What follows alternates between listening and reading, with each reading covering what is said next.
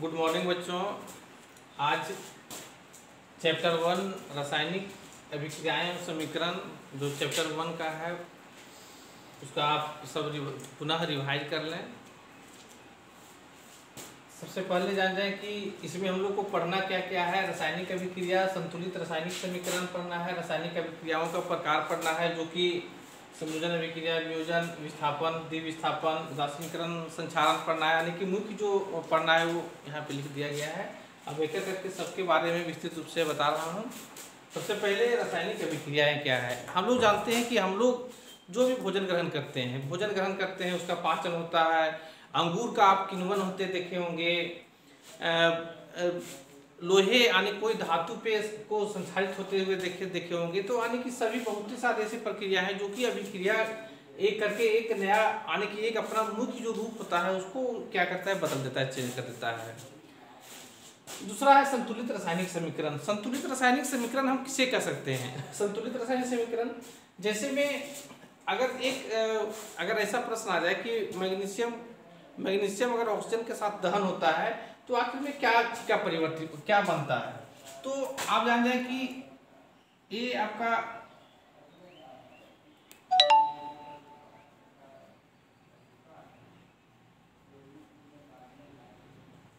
Magnesium, अगर oxygen के साथ दहन होता है तो ये बनाता है मैग्नीशियम ऑक्साइड। मैग्नीशियम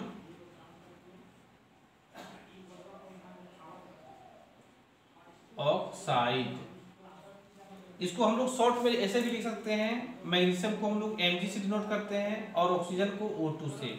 और ये अभिक्रिया करने के बाद बनेगा magnesium oxide M G O two M G sorry M G O magnesium oxide का सूत्र होता है M G O magnesium oxide तो इस तरह से क्या होता है कि हम एक समीकरण लिख सकते हैं। लेकिन अब ये ये चूँकि हमारा समीकरण जो है सो संतुलित नहीं है, इसे संतुलित करने के लिए हम दोनों ओर की परमाणुओं की संख्या को हम हमें बराबर करना पड़ेगा। क्यों? क्योंकि हम जानते हैं कि द्रव्यमान संरक्षण के नियमानुसार दोनों ओर यानी कि ये इसको हम लोग दोनों, इसको हम लोग कहते हैं अभिकारक। अभिकारक किसको कहते हैं? जब दो परमाणु आपस में जुड़ करके, दो को दो तत्व आपस में जुड़ करके एक नया का यानी कि दो जो जुड़ता है, उसे हम क्या कहते हैं? अभिकारक और दोनों जुड़ने के बाद जो एक नया का निर्माण करता है, उसको हम लोग क्या कहते हैं? उत्पाद। क्या कहते हैं? उत्पाद। तो इसमें से मैग्नीशियम और ऑक्सीजन ये अभिकारक हुआ और एमजीओ यानी मैग्नीशियम ऑक्साइड जो है क्या हुआ? उत्पाद हो गया।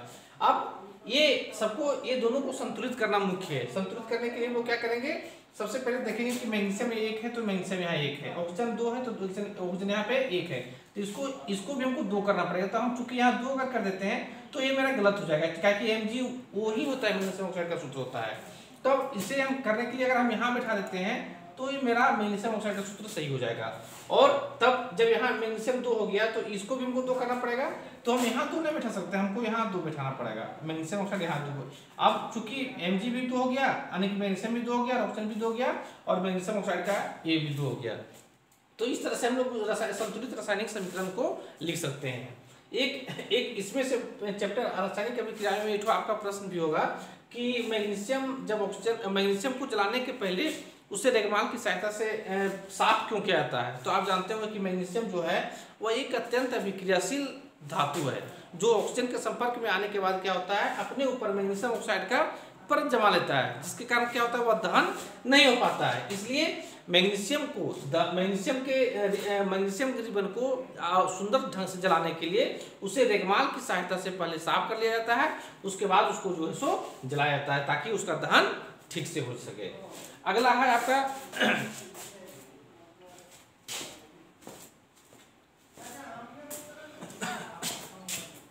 अगला एक एक प्रश्न आप और देखते होंगे कि कैल्शियम ऑक्साइड बिना बुझा हुआ चूना, बिना बुझा हुआ चूना, बिना बुझा हुआ चूना, ये कार्बन डाइऑक्साइड के साथ अभिक्रिया करता है कार्बन डाइऑक्साइड। ये कार्बन डाइऑक्साइड के साथ अभिक्रिया करता है तो ये अभिक्रिया करने के पश्चात ये जो बनाता है, वो क्या बनाता है? कैल्शियम हाइड्रोक्साइड, जिसको हम लोग कहते हैं बिना बुझा हुआ चूना। क्या? बुझा हुआ चूना। क्या कहते हैं इसको? बुझा हुआ चूना। अब एक चीज़ ध्यान दें कि जैसे में ये बिना बुझा हुआ चूना इसका सूत्र होता है C A O calcium oxide. और ये कार्बन डाइऑक्साइड का सूत्र होता है सी ओ टू। ये अभिक्रिया किया और बना बुझा हुआ चूना यानी कि सी ए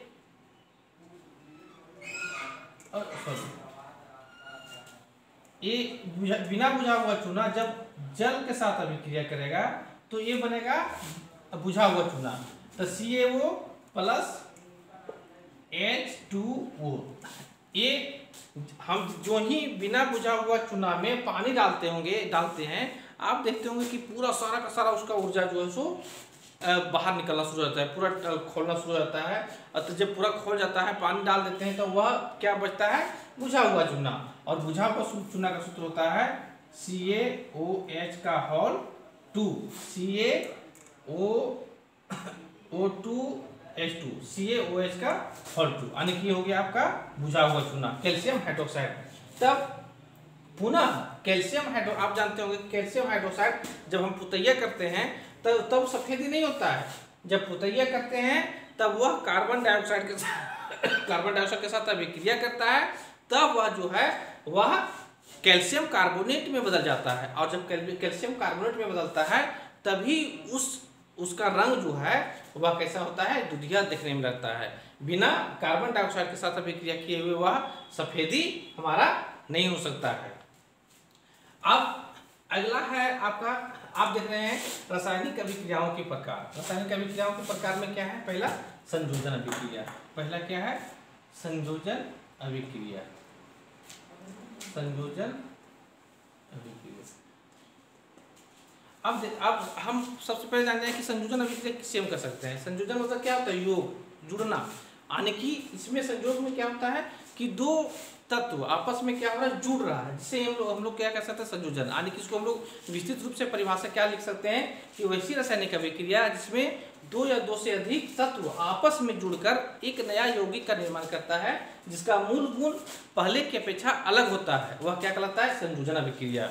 जैसे में एग्ज़ाम्पल में देखें आप।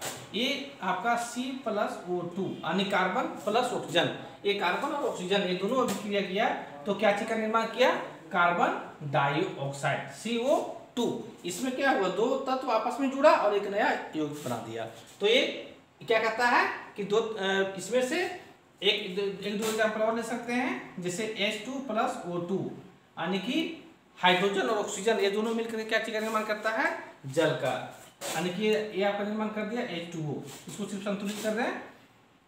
यहाँ दो बैठा देंगे, यहाँ दो बैठा देंगे, और संतुलित हो गया। यानी कि इस तरह से हम लोग बहुत सारे एग्ज़ाम्पल दे सकते हैं। अगला आपका है वियोजन अभिक्रिया। दूसरा में क्या है? वियोजन अभिक्रिया। अब देखिए, वियोजन अभिक्रिया जो है, वह संयोजन अभिक्रिया के जस्ट उल्टा है। वियोजन अभिक्रिया का परिभाषा क्या है? वियोजित होना आने की टूट जाना। तो इस, इसका इसको हम लोग कैसे लिख सकते हैं कि वैसी रासायनिक अभिक्रिया जिसमें एक पदार्थ वैसी रासायनिक अभिक्रिया जिसमें एक पदार्थ आप एक पदार्थ टूट करके दो या दो से अधिक नए पदार्थों का निर्माण करता है जिसका जिसका मूल गुणधर्म पहले की अपेक्षा अलग होता है। फिर से सुन लें। वियोजन अभिक्रिया किसे कह सकते हैं? वैसी रासायनिक अभिक्रिया जिसमें एक पदार्थ आपस में टूटकर दो या दो से अधिक नए पदार्थों का निर्माण करता है, उसे हम लोग क्या कर सकते हैं? वियोजन अभिक्रिया एग्ज़ाम्पल में आप देख लें, जैसे हम लेंगे C A C O three calcium carbonate ये टूटेगा तो बनेगा calcium oxide plus C O two carbon dioxide यानी कि कैल्शियम कार्बोनेट अगर टूटेगा तो कैल्शियम ऑक्साइड का निर्माण करेगा और कार्बन डाइऑक्साइड का निर्माण करेगा। इस तरह से हम लोग बहुत से सारे एग्ज़ाम्पल इसका हम लोग लिख सकते हैं। अब आगे चलते हैं। अगला है विस्थापन अभिक्रिया तीसरा में आपका है, विस्थापन अभिक्रिया। विस्थापन अभिक्रिया किसे कह सकते हैं? विस्थापन मतलब आप जान जाए कि विस्थापन, यानी कि विस्थापित करना। एक जगह से दूसरी जगह पे क्या करना विस्थापित आने की हटा देना और उसकी जगह पे बैठ जाना। तो इसका परिभाषा हम कैसे कर सकते हैं? कि वैसी रासायनिक अभिक्रिया जिसमें एक अधिक अभिक्रियाशील वाला तत्व, कम अभिक्रियाशील वाले तत्व के यौगिक से उस तत्व को उसे विस्थापित करना, आने की हटा देना और खुद उसका स्थान ग्रहण कर लेना। उससे ही हम लोग क्या कर सकते हैं? विस्थापन अभिक्रिया। जैसे में एक अधिक अभिक्रियाशील वाला तत्व हम ले लेते हैं, मैग्नीशियम। और ये यौगिक जो है, वह क्या है? जिसे copper sulphate C U S O four तो ये चूँकि देख लें एक कॉपर से मैग्नीशियम ज़्यादा अभिक्रियाशील वाला तत्व है। तो क्या करेगा? अब जब अभिक्रिया करेगा तो ये बना देगा magnesium sulphate M G S O four plus copper को विस्थापित कर दिया। फिर हम देख सकते हैं, जैसे सोडियम भी सोडियम भी जो है, वह कॉपर से ज़्यादा विक्रियाशील वाला तत्व है, जैसे C U S O four तो ये क्या बन जाएगा? N A two S O four plus C U यहाँ भी आपका निकल गया। एन ए सी हमको यहाँ दो बैठा देना संतुलित करने के लिए।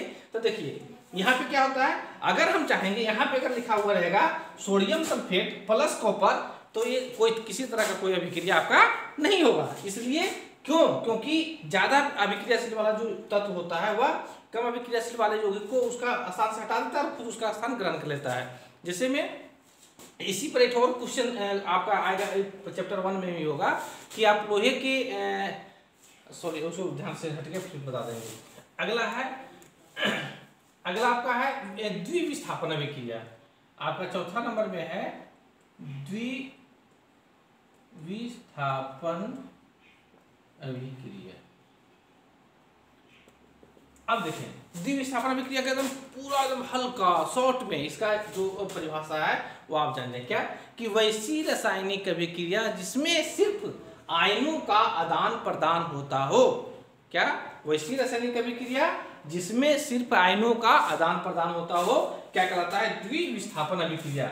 जैसे एग्जांपल में आप ले लें sodium sulphate N A two S O four plus एक M G C L two M G magnesium chloride ये बन जाएगा आपका M G S O four plus two N A C L इसमें सिर्फ़ क्या हो रहा है? कि इसमें सिर्फ़ आयनों का आदान प्रदान हो रहा है, किसी तरह का कोई चेंजिंग नहीं हो रहा है। इसलिए हम क्या कर सकते हैं?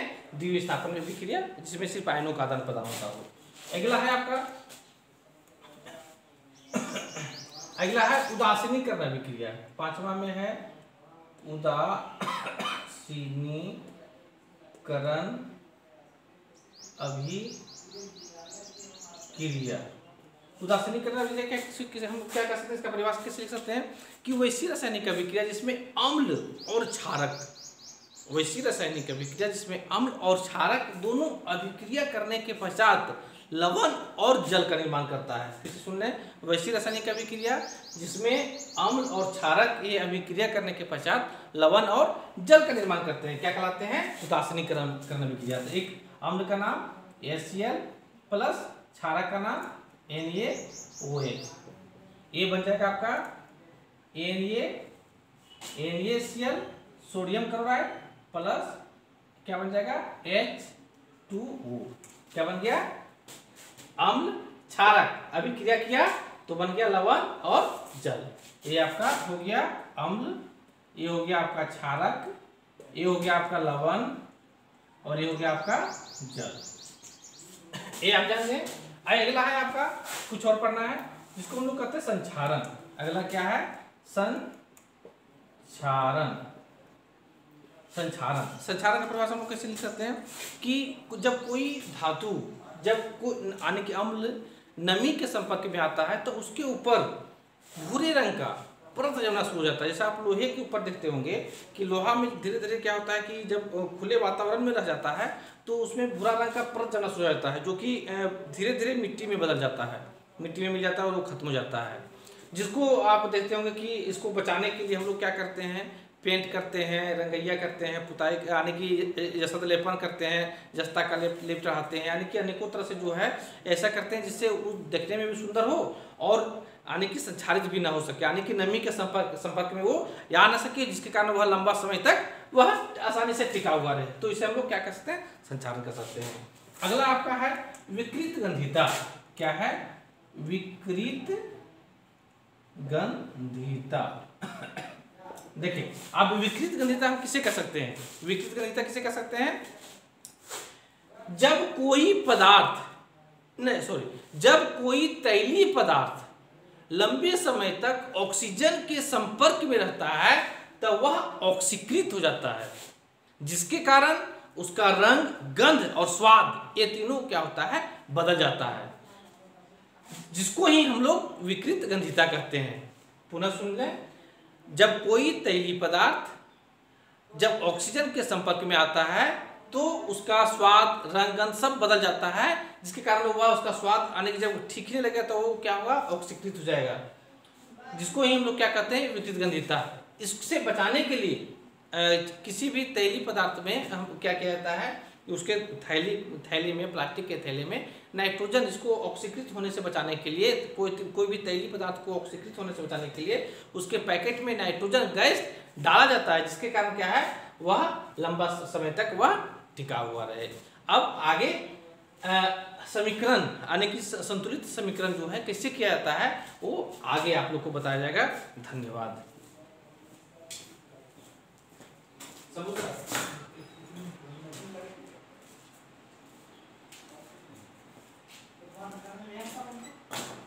लड़का किस बने